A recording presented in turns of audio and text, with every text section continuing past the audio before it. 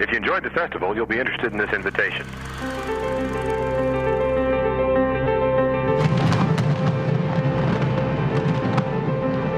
Ladies and gentlemen, an opportunity like this cannot be taken for granted. This evening, we are going to be beating our hearts out for you all, so I want to see people enjoying themselves. So get up and feel the music and do something about it, okay?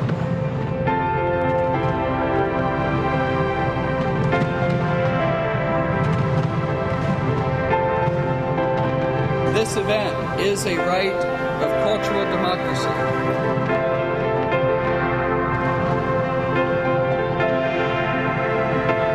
We have many, many partners, you included. I encourage you to stand alongside with us as we travel this journey year after year.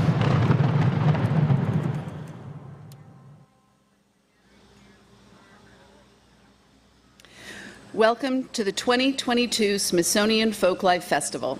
For over 50 years, the festival has convened people on the National Mall to explore the power of culture and creativity in our lives today. This year, we feature artists and partners from the United Arab Emirates and Earth Optimism, a global conservation movement. The Smithsonian Folklife Festival is produced by the Center for Folklife and Cultural Heritage in partnership with the National Park Service. The festival strives to maintain an accessible and inclusive environment for visitors of all abilities. If you are in need of accessible seating options or assistive listening during this presentation, please see one of our venue volunteers. The Earth Optimism by Folklife sponsoring partners include the Ford Motor Company, HHMI Tangled Bank Studios, Roger W. Sant and the Honorable Doris Matsui, and United Airlines. In additional support is provided by the Asian Pacific Initiative Pool, Anela Kolohe Foundation, Ann Kaiser and Doug Lapp, Rewild, Sacharuna Foundation, and the Shared Earth Foundation. We thank them. Festival hours are 11 a.m. to 5 p.m. daily with special evening events starting at 6:30 on the main stage. And for the most up-to-date schedule information as well as information on our speakers, their bios and what they do, please visit our festival website festival.si.edu. Uh, and also, we encourage you to visit the festival marketplace, which is located on the other side of the Smithsonian Castle. And there you can support artisans from around the world. So we encourage you to go there. It's got some great stuff.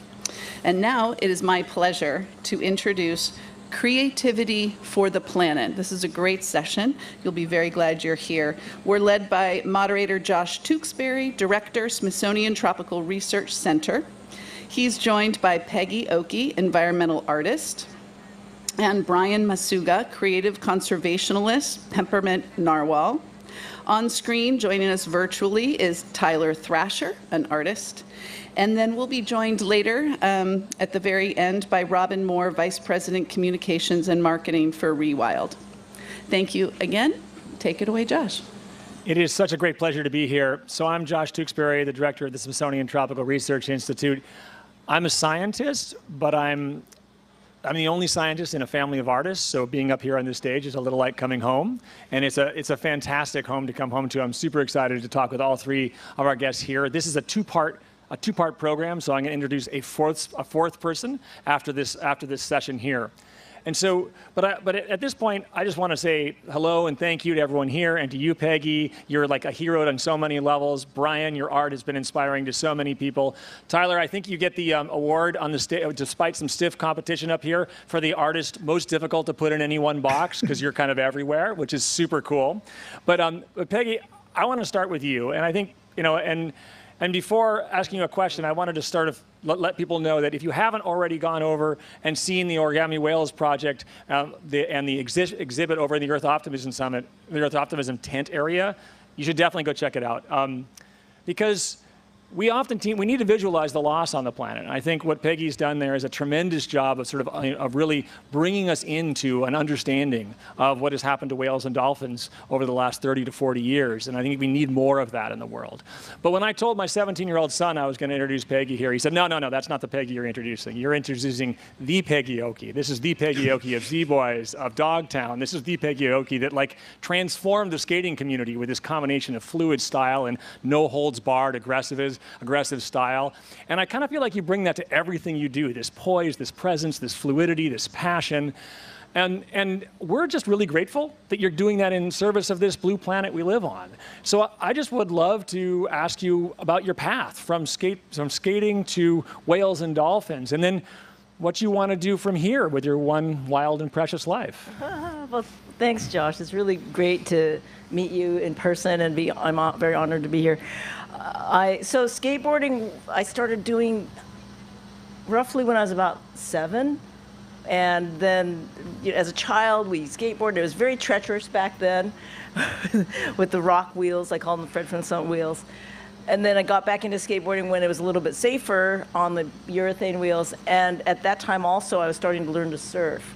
And for me, the skateboarding became my way of practicing the surfing moves, the balance and, and motion that I would be doing surfing. And there was a lot of days when there was not much surf. So then I got on the skateboard team, the Zephyr team, and we all, that was kind of all the same idea with all of us, that we really loved surfing the most, and but then the skateboarding moves were great. And then it turned into the whole sort of culture of our team. And, uh, and so my love for surfing led me to learning more about about the beings in the ocean. And I was especially taken, I grew up as a child watching Flipper. So it was like, oh, dolphins. And so I learned more about dolphins. I studied, uh, I was a field zoology major at, at Santa Monica College at the time. And that became my subject, the, the dolphins. I started learning more and more about dolphins and how interesting they were to me, the, how they, they in, their, in their groups, they take care of each other. The mothers always feed their, take care of their young, all that kind of thing. Sort, like, sort of like humans, right? And so I was, and then, and then they finding out that they surfed. So it's like, oh, I'm a surfer, they surf, this is really cool, we're connected. And, uh, and then from then on, it just became more, it just more and more of an interest for me to study more about dolphins and whales and um, and then and then learning in uh, geez like about the late 70s early 80s learning about like one of the first things that I learned as far as a threat to dolphins was the uh, they call them uh, fishing on porpoise. And the tuna industry in the Eastern Pacific would herd dolphins. They would find dolphins herd them into a big purse seine net. So it's kind of like a, like kind of like these net bags that we have, but giant. And they would herd them in because they found that at least half the time there there would be yellowfin tuna swimming along underneath you know with them for some reason the two were found often together so that's how they would catch tuna and a lot of times thousands of dolphins would be killed every year and so I, I became aware and started working on that as a as an environmental uh, action topic, and then and then just as just moved from one to the next, and then addressing the issue of whaling through my Origami Whales project, and engaging children through children's art as well as another form. But I thought, why don't we do it all together? Why don't we get people to fold origami whales? Like at the Whale Festival in Santa Barbara. That was the first time where we started, and I set a goal of 1,400 to raise awareness that that year in 2004, 1,400 whales were going to be killed between Japan and Norway's whaling activities. So then it just snowballed, just kept going, going to different uh, projects, and then also uh, the big curtain of 38,000, well, now it's 40,000 origami whales to represent each whale that's been reported killed since the 1986 whaling moratorium by the IWC. Hmm. And then I'm here with a different, whole other project. I don't want to talk too long. No, you tell us a little bit about the project. Okay, I'll tell you a little bit about it. So I'm really excited to have this opportunity to raise awareness about something that's e- an even bigger killer than whaling. Like, whaling is a horrible thing. They chase these whales down, they, they harpoon them. Sometimes it takes hours before they actually die with a harpoon in it, sometimes exploding harpoons that they shoot into these whales. But there's something even more horrible going on, or equally horrible.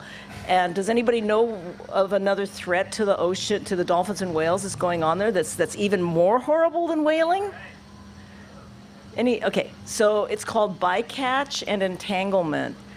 And bycatch is basically when the fishing fleets go out there with their trawlers and the big nets and they and they they just drag it along and everything in its path gets caught up in these nets. So it's more than the one species of fish that they're targeting. It's other species of fish. It's shellfish, crabs, whatever, um, uh, dolphins, sharks, seabirds, sea lions, sea turtles. All these things get caught up in these nets, depending on, especially like the shrimp industry. There's a big problem with. Um, the sea turtles. There's still about 250,000 sea turtles every year as bycatch and entanglement. So the entanglement is the other thing, which is when the nets basically are discarded or get away from the fishing fleet, fishing boat, and they're floating around the ocean, and literally almost half of the plastic ocean pollution is fishing nets. So that's a lot of plastic floating around and sea life getting caught in it. And and dying ultimately. It's like we see the good news, you know, videos. Oh, we saved this whale. It had a net tangle. That is the, the minute percentage because nearly, well, actually over 300,000. That's three zero zero zero zero a year. do- Dolphins and whales die of bycatch entanglement. So I'm really excited that I'm raising awareness about this through our exhibit. We've got a couple of nets hung up. Our goal is 3,000 origami whales and dolphins. So we do the math, and that's still one one hundredth, right, of how many get killed. But you're going to see how many are there. And I, of course, inviting everybody to come over for origami dolphins and whales to add to our net. That's And- great. That's so so great. Yeah. And you know, so I think it's this kind of awareness building that's so important. I mean, to to bring everyone in as a part of the solution. And Brian, I wanted to turn a little bit to you because I think, you know, um, you have been able, someone who's been able to to do that as well. And I think you're a little like my daughter. You probably grew. You probably like were born with like a pencil in your hand, and uh, and and you learned to sketch before you could probably even speak or something. And I, I, I love that creativity. But you know, you've been able to turn that into like connect it with your passion for wildlife and your passion for for nature, and do it in a way that's like hugely accessible. You know, through Peppermint Narwhal and beyond. And so I just love to hear a bit about like how you made that that that that that journey, how you got to that point of being able to impact with your art, and where you want that art to go in the future. Sure. Um, first off, thank you for having me here today. Um, I appreciate it very much. This place has always been sort of a, a, a shrine to me. I loved coming here as a kid, going to all these museums. So yeah, like your daughter, I, I was, you know, I, I have a nature nerd and a and an artist nerd, you know, kind of combined. Uh, I was always drawing. I was always doodling. You know, even in sometimes in class on the textbooks, you know, I'd get in trouble for that because I just couldn't stop channeling the drawing. Um, as I you know, through my uh, life as an artist, I, I started to realize that I could kind of marry these two things together and take the passion I had for animals and bring the creative side together and share that more with the world. And one thing that fascinated me was I grew up in a family with three sisters, and I think we all loved animals, but I had this sort of degree more, like higher intensity, and they had like an average degree.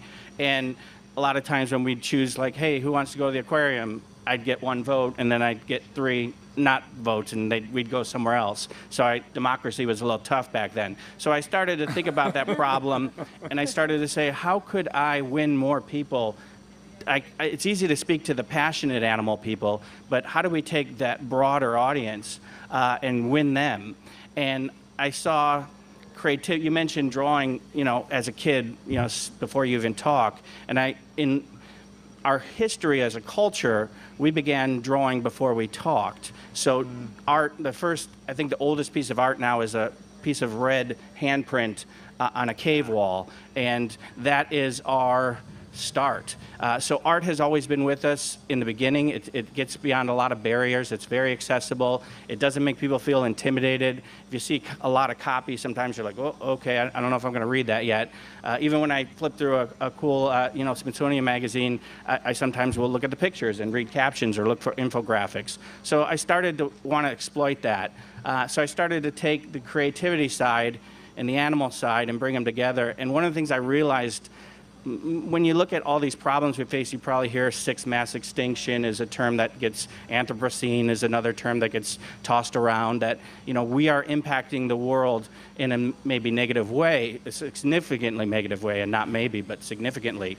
So how do you fix those problems? How do you conquer them? You know, this concept of Earth optimism is very attractive to me because I don't want to make these things discouraging. So I thought that the best way to sort of fix most of these problems is education. Uh, most of the time, we learn very little about animals, nature, science. You get a little bit in school, and then the people who are really passionate get a lot more reinforcement, and then we lose this vast mm. audience. So that's where I wanted to win those audience. So I started exploiting social media and you know, I, lo- I, love as much as I love, you know, going to the Hirshhorn and looking at, you know, modern artists and, and famous artists. I also love pop culture. I mean, you can see my shirt, you know, Peppermint Narwhal. So I said, you know, I think I could bring these two things together in ways too and have fun. And again, when you want to learn, uh, no one goes to social media to learn. They're not like, boy, I need to get some, you know, new ideas in my head. They go there to escape, to to play, to recreate, to just veg out. So at the same time, we're curious primates, so I can exploit that too. So I started to find ways to, you know, if you're, if you're having fun, it's so much easier to learn, you know, and learning should be fun. So these two should always stay together. They should always be intertwined. Um, it plays to our most intrinsic ability to learn, which is curiosity. So I, I, try to exploit that in every graphic I make, and I try to introduce a little bit of education in every piece that I post. So I like to say we celebrate the animal kingdom from the iconic to the obscure. So I want to find your favorites, but I also want to introduce you to quolls, you know, and, and have you learn what this animal is and discover where it fits into the ecological puzzle. Because, you know, pandas are great and we've done a better job of, you know, protecting them. Uh, and they're only a part of this tapestry of an ecosystem. And again, I feel that you can't you know, we all want to protect species, we all want to protect the environment, but you can't do that unless you start by first caring. And unfortunately, you can't care about anything you're completely unaware of. So that's why, again, my puzzle answer always pointed back to education. And if I can use the work that we do to foster a greater sense of wonder, curiosity, and fun exploration, then I think that people will, will channel that themselves and go a little further than I can. I can't get everybody to the end, but I want to just maybe be there at the start and point a direction. And I think that one thing I remind all of us as, as people, especially animal lovers who, you know, I, I met, meet tons of animal lovers, but I have this weird surprise that everybody always says, oh, I love animals, but I don't love people. And I would actually say people are my favorite species of animal, and I love all animals. Um, and I would remind us that we are, um, even though we've done tremendous strain, you know, you, you, listen to Peggy talk about, you know, the things we're doing in the ocean and the things we're doing to animals, even to just get food on our bellies, uh, you know, we cause a lot of challenges. But at the same time, we're an amazing species. We're capable of tremendous gifts to the, to the earth. Uh, we've done I mean, you look at the Smithsonian as an example of shrines to human achievement, art, culture, language, uh, you know, science. All of these things are our contributions. We're literally going to be the first species to touch down on another planet. You know, we're already doing that through a probing sort of level. We're piercing into the world of the subatomic and looking at identifying more and more particles each day. So humans are amazing. Uh, just focus on being amazing yourself. Use that opportunity to be the most amazing human you can be. Celebrate your individuality, your uniqueness, and spread that. It's contagious. Just like the negative is contagious, this concept of earth optimism is incredibly contagious. And if you're going out there saying, you know, we can do it. We're, look what we look what we've done. I mean, we've done amazing things. We've built, you know, uh, walls in China that you know when you go there, you're you're blown away. You've seen pyramids. You've seen. You know, we've been doing this when we were even boggled by how we did it. So I, I believe in humans. I believe in us, and I think that the challenges that we have thrived as a species are great.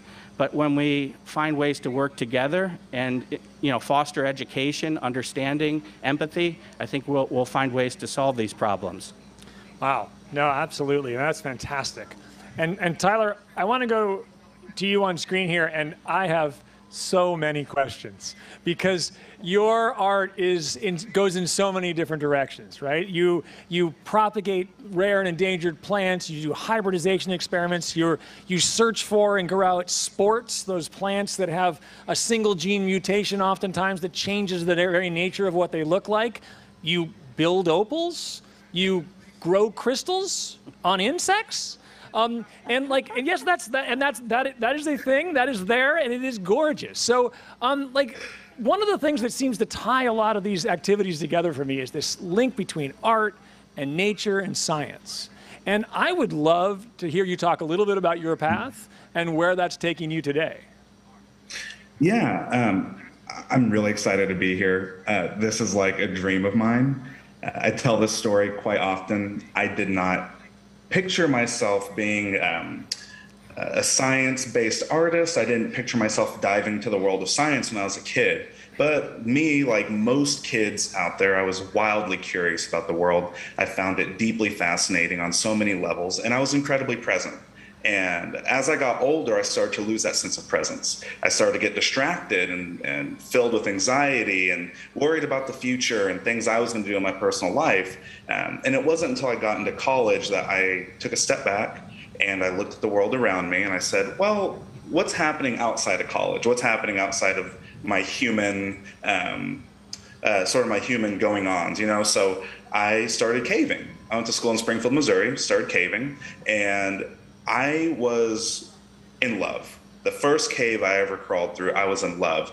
I was in an area, in an environment that most humans won't even stick their heads in. But us in caves, you know, we go far back. And I was, it felt like I was in this holy experience and I was addicted. I was caving every weekend. And I found myself slowly incorporating crystals and minerals and different formations in my art. Um, you know, I was drawing at the time, getting my degree in computer animation, and I was looking for inspiration, and nature provided.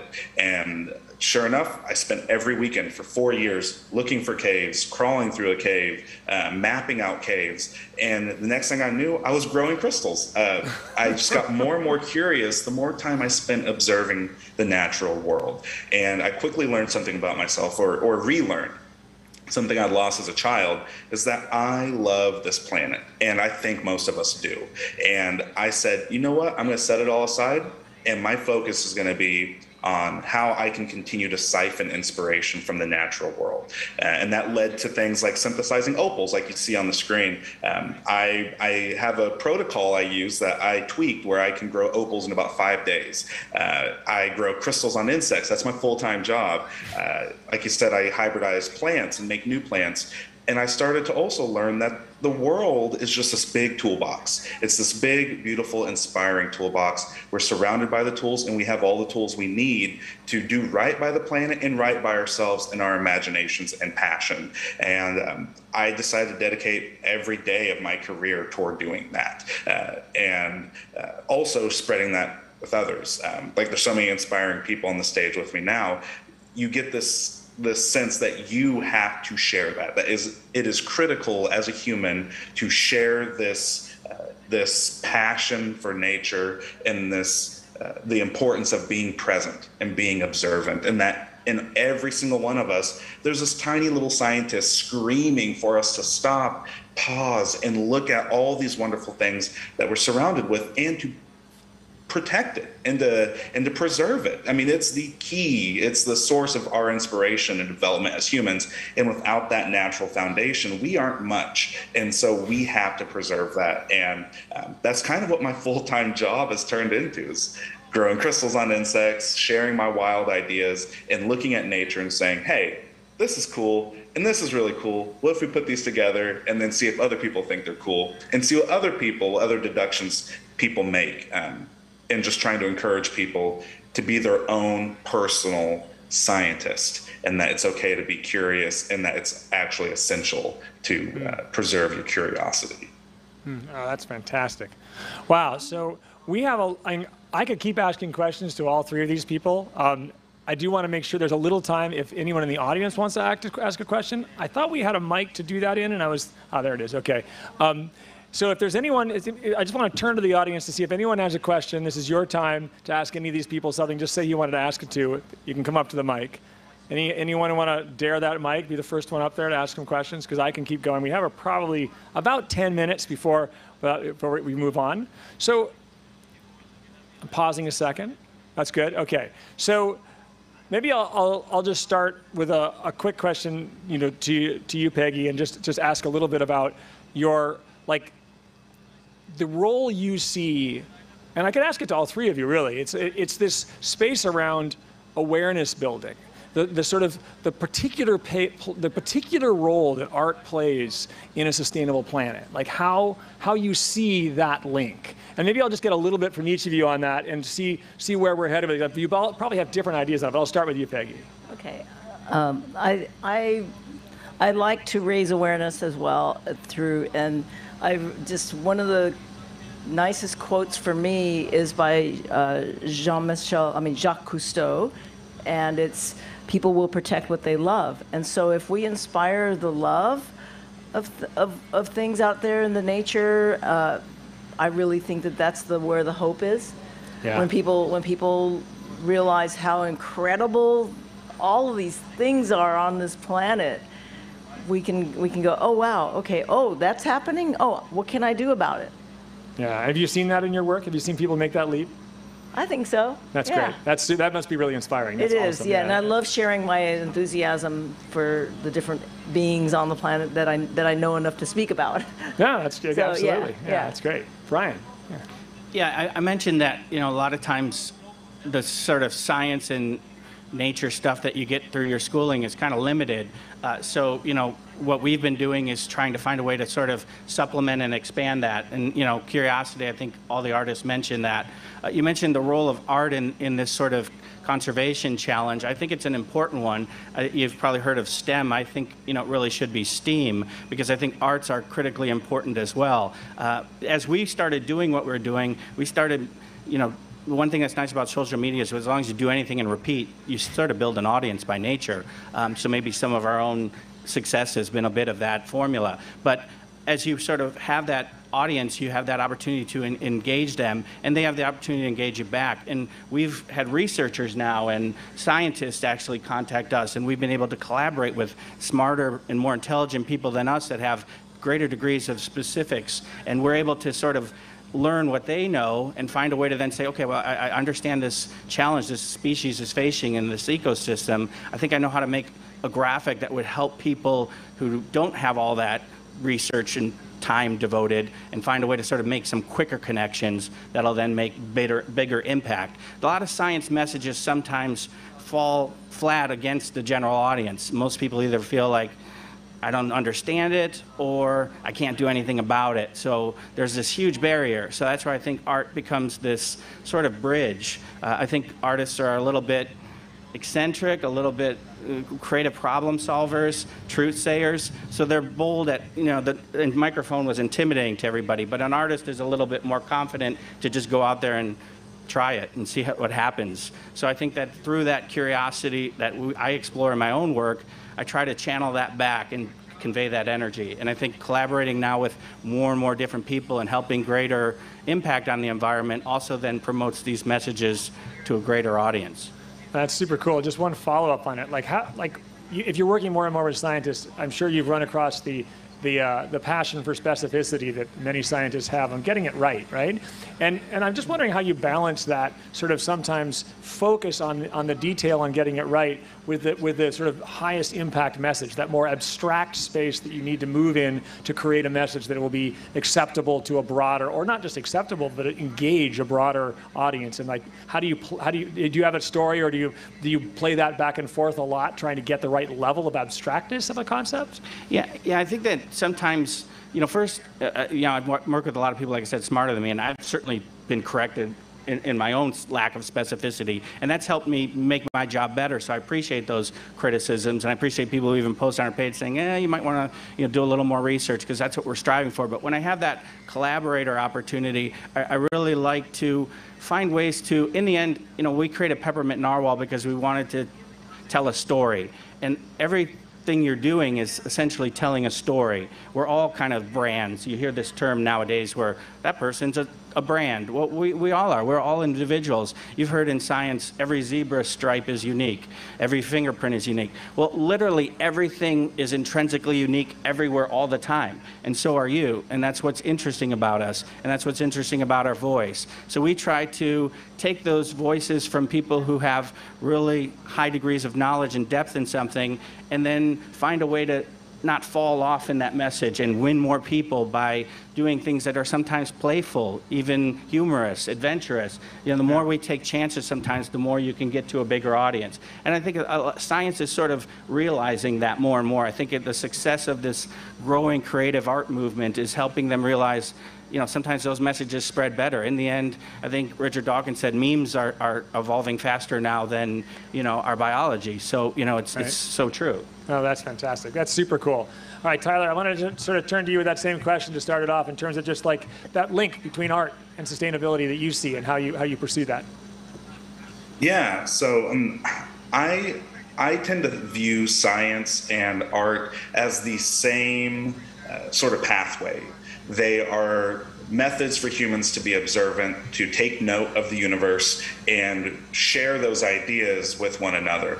And I think if you spend enough time being observant, and following your path of curiosity, uh, you will find something worth protecting. Um, I agree with the quote that was said earlier, um, and I think that if you chase your curiosity, you'll find something you love, and you'll say, "I have to protect this." I don't think that you can be as fully in love with science and art and not want to protect it and not fight for sustainability.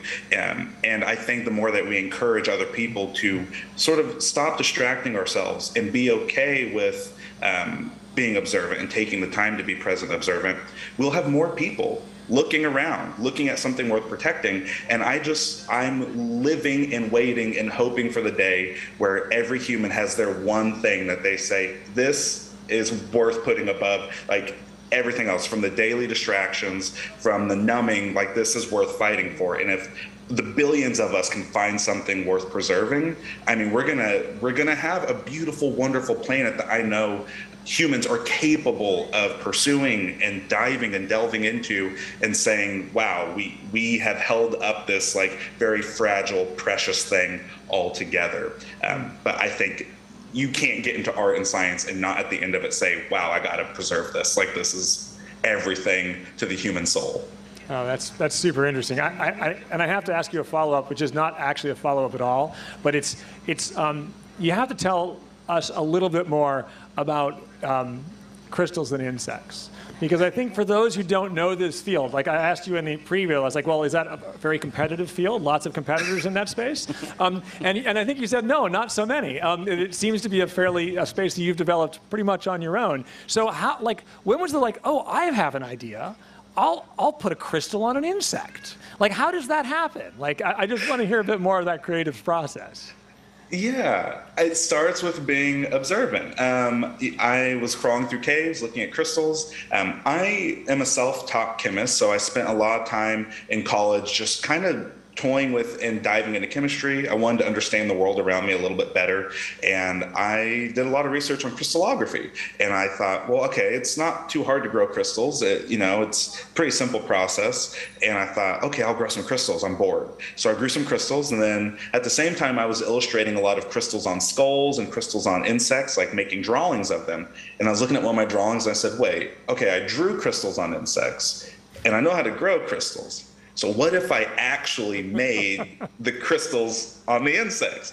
Um, and so I would go hiking and find cicada shells or like little bones. Right. One time I found like a, a feral uh, cat skull outside of a cave, and I was like, well, I'll take this home and crystallize it. And I was just like, I'll grow crystals on anything but a rock. So- and So to be clear, like no no insects are harmed in your crystal growing. You, it, like these are dead insects when you start, correct? Yes, I, and that's yeah. something. That's a funny dance I've had to do my whole career. People saying like, "Oh, "Are you grabbing bugs and like submerging them in boiling hot water?" And I'm like, "Oh my God, no, no, they're all dead." Um, but it's awesome. kind of this beautiful way to preserve life and say, "Look, even in death, like the world's absolutely stunning." Oh, that, that is that is that's fantastic. So I think we're about at a point in this where I want to sort of I want to bring up I want to do a little transition here, and I'm, I'm going to introduce our fourth speaker who's going to take us out, and that's Robin Moore, who's uh, the vice president. Come on up, Robin. You uh, uh, and we'll because he's got Robin, Robin. Yeah, come on up. Yes. Robin is not only the, the, Vice President for Communications and Marketing at Rewild, uh, he's not just a leader at a major environmental organization, he's also a gifted writer, a tremendous photographer, and a scientist. And, and he combines all these things in some exceptional, exceptional ways. And so, you know, one of his books, for example, Searching for the Lost Frogs, was fundamental and inspirational and actually really powerfully helpful in the work that we do in the Smithsonian Tropical Research Institute to preserve frogs and bring them back into the wild. So it's this connection between you know, the, the, the passion you bring to the subject, your ability to, to get that out to a huge audience, and then that comes back and helps organizations that are working on the ground to do the work that that book is, was all about sort of promoting. And so I think that's true for everyone up here, but I think it's a great way for you to, to finish us off. And, and I wanted to hear a little bit because you do start as a scientist. You are a scientist, you are trained as a scientist. Um, how does that training influence your creativity, both as a, as a storyteller and as a photographer? Yeah, sure. Thanks, Josh. Uh, what a great intro and a hard, a hard panel to live up to. Some great, great, uh, and a lot of themes actually that, that are very similar, and um, really, um, sort of. you have competition. I've got. I have to start shouting louder. Um, so when I was thinking about what, what, to talk about, I kept coming back to something that Tyler really touched on. Actually, is sort of thinking like a seven-year-old. And uh, this is my first ever selfie. Uh, when I was seven, I recovered this from my diary recently, and I show this not to boast about my artistic prowess, but more just it, it, captures for me that sort of my childhood. This is, in, in case it's not obvious, I'm putting frog spawn into a into an aquarium here. And I spent my childhood just, I grew up in Scotland, just roaming the muirs, finding uh, frogs, newts, and really sort of indulging my curiosity through this incredible transformation that, that frogs undergo. And so they were my sort of gateway drug into, uh, into the natural world. And, you know, I, I as Josh mentioned, I, I, sort of pursued that curiosity through through science, and I went on to study biology. I did a, a PhD. I went down a postdoc route, and then, yeah, I realized that sort of after my 10,000th sort of scute that I'd counted on a tortoise and papers on body mass index, it wasn't it, it sort of it wasn't fueling my curiosity in the way that I, you know, as a child, as a seven-year-old, I had sort of felt. So I, I sort of I transitioned to, to work more in sort of applied conservation. I went to work for a group called Conservation International, and I, I took my camera everywhere I went. And it turned out that for me, taking photos was a little easier than freehand. And so I would use my, my, you know, my camera as a tool. I swapped my calipers for, for camera and, and found that you know, images um, I could convey in a very different way. In a, you know, sort of a ghostly frog against the Milky Way. One image can convey you know, what, what sort of a lot of this, the stats and the sort of arid jargon that I was using before just couldn't. And it could sort of be a headline that would get people's attention. And just, just having a camera would allow me to sort of bring people with me on these journeys, you know, lying on the forest floor in Colombia, face to face with a snake. You know, not many people want to do that. So these moments where a fly just landed on the snake's head, you know, just capturing these moments and bringing them to life, for me was my way of sort of sharing and, and um, you know, connecting with people on, on the sort of wonder of the incredible world that we're, you know, we live in. And it also brings you face to face with, with these animals. You know, I think uh, when you're trying to get people to care about frogs, I think we, we're, we're sort of programmed to connect on that individual level. You know, when you tell people there's 2,000 species threatened, it sort of, it doesn't mean anything. It's, it's very, you know, you could tell them there's 20, 2,000, 20,000. It doesn't really, it has the same sort of uh, effect, but I think connecting with one individual. So I'm going to talk a little bit about a couple of um, campaigns that we've done at Rewild. And I'm very, very lucky to work with an incredible team at Rewild and, and really standing on their shoulders here uh, because uh, Rewild also gives us sort of the, the creative freedom to, to think like seven year olds and, and really indulge our own passion and curiosity. And I think, you know, it's, it can be more powerful to show than to tell. But I think there's an even more powerful way of doing it, and that is asking. So, you know, I think a lot of our campaigns, a lot of our stories start with the question, what if?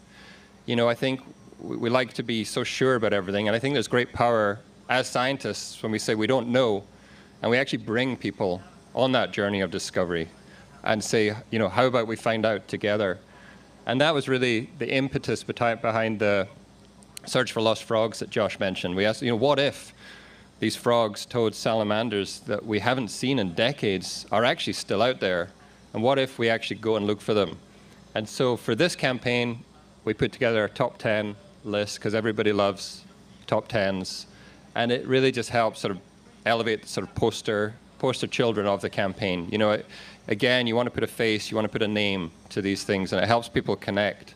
So we had this top 10, and then the campaign itself like took me into the, the cloud forest of Haiti, where we found six frog species that hadn't been seen in, in two decades, including, I didn't find it on this coin, but this is a quarter, just, just to give you a sense of scale. You know, this is the size of a grain of, grain of rice. Um, to Colombia, where they had incredible glass frogs, you know, smaller than your fingernail, where we found a brand new species to science. And there's just so much out there, you know, that we're still discovering. And again, I think bringing people on that journey of discovery, I think, is so critical uh, to engaging. You know, I think we're when we're in communications, we often talk about audience, we talk we talk about content, but but I think there's such power in trying to figure out how we bring people in and on that journey rather than just talking at people. And I got to go to the, the rainforest of Borneo with a team in search of uh, an incredible toad that hadn't been seen in 87 years, the Borneo rainbow toad.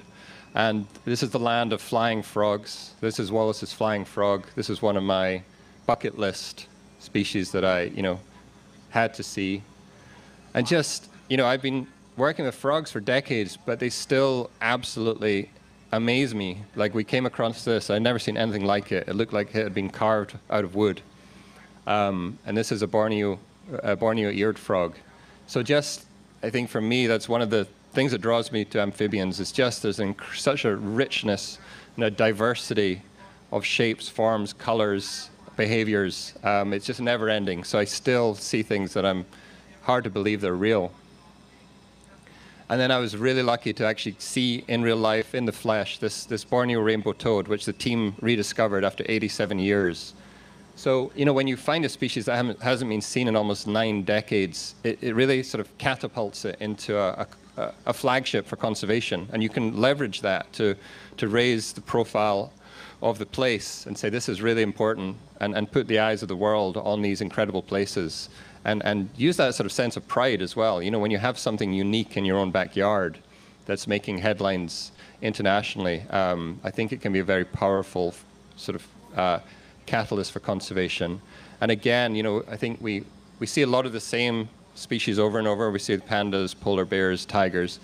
We, we spend, you know, I think the underfrogs that have incredible stories to tell are, are incredible also flagships for conservation, if only we, we sort of tell these stories.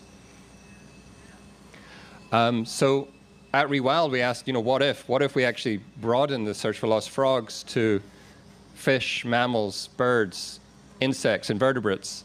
Um, and so we did, we, we worked for a year with scientists, the International Union for the Conservation of Nature, on building a list of 1,200 lost species and we, we did a top 25. We couldn't, we couldn't narrow it down to a top 10, just too many.